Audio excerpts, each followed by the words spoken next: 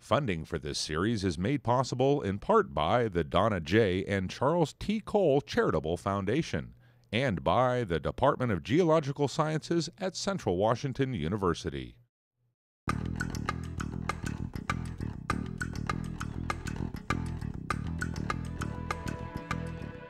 Hi, I'm Nick, and I love Washington's geology. I've been teaching it for 20 years now. Let's hit the highways, visit places you all know, and I can help you see Washington like you've never seen Washington before.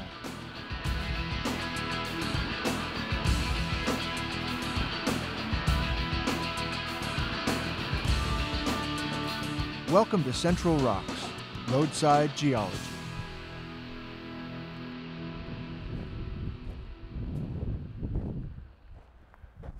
Here we are.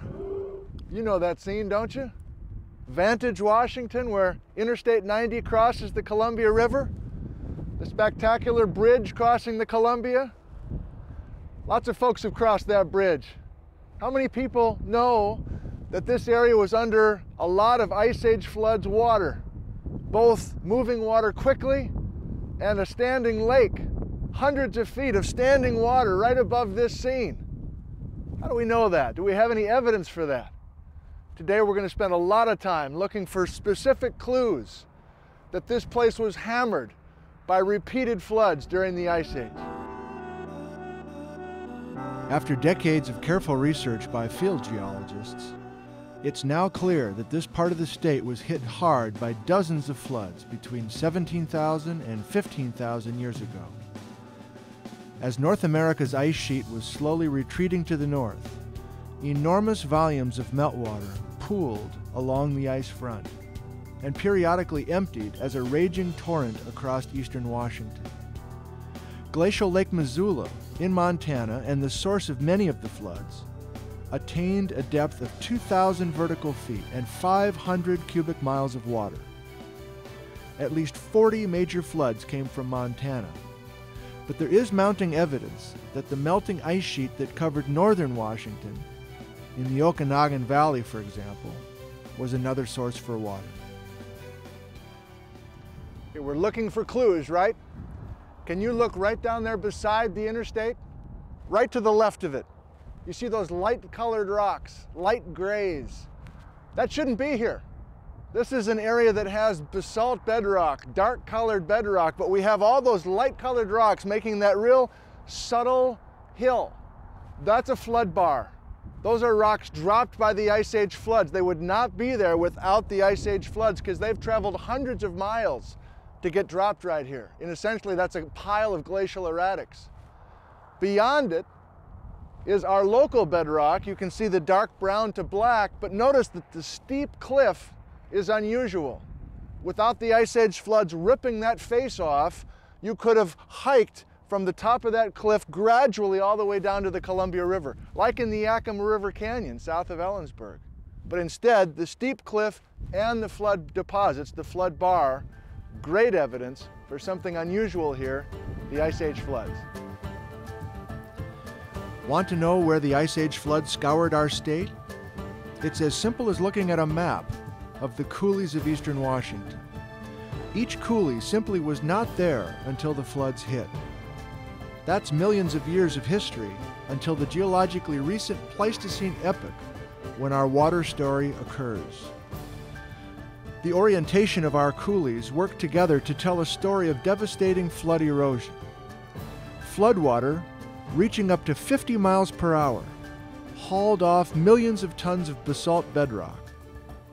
Where the floods missed, gentle rolling hills that today are used for wheat farming where the floods hit, deeply incised coulees. One of the most impressive coulees sits just a stone's throw from Interstate 90 between Vantage and Quincy. Every day, thousands of drivers whiz by the Silica Road exit, unaware that one of our most famous Ice Age flood features is waiting to be explored. Frenchman Springs Coulee prior to the construction of Interstate 90 in the 1960s, was host to the Sunset Highway, the main thoroughfare between Seattle and Spokane. Today, the coulee is a forgotten chapter in the history of Washington state.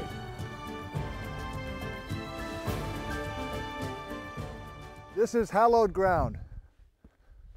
This point right here in central Washington, Frenchman Springs Coulee, is one of the most spectacular pieces of evidence we have for the Ice Age floods that came across central Washington. This place has been debated among geologists for much of the 20th century. And finally now we all have come to a consensus that the geometry of this coulee is such that it can only be explained by catastrophic flooding during the Ice Age floods of the Pleistocene. Let's look at the geometry here and the scale of the geometry. Perfectly vertical wall below me. Perfectly horizontal floor of the coulee. And vertical on the other side as well. In normal situations, under normal geologic circumstances, we have a V-shaped valley with a river cutting. But in this particular case, we don't have any of that V-shaped valley. We have a box-shaped valley, otherwise known as a coulee. Used regularly by geologists all over the Northwest, Frenchman Springs Coulee also attracts outdoor enthusiasts. Springtime in particular is a wonderful time to enjoy the coulee. The wildflower displays are often outstanding.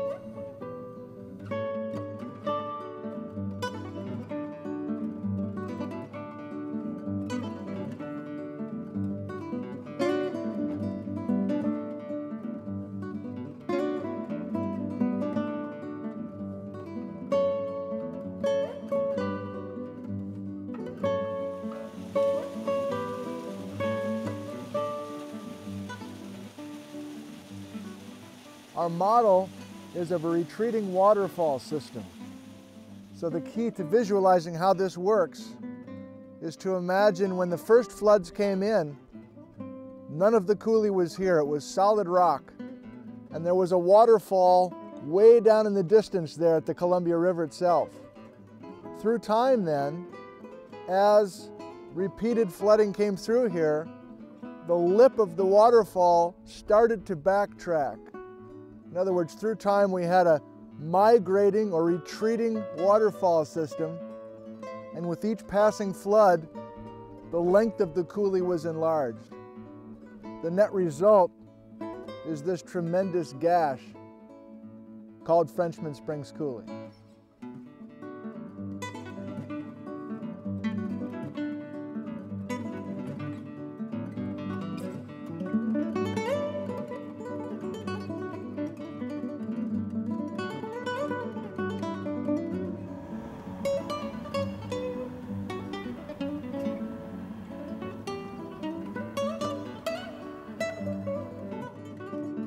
Funding for this series is made possible in part by the Donna J. and Charles T. Cole Charitable Foundation and by the Department of Geological Sciences at Central Washington University.